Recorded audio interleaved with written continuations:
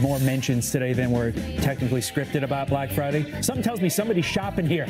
Well, if you're like the millions, Carly included, who Getting are in going to brave sneakers on, lines, going out to the stores, going to the malls, all in search of the best Black Friday deals. Consumer expert Melissa Armo here with the tips you need before you buy. Hello.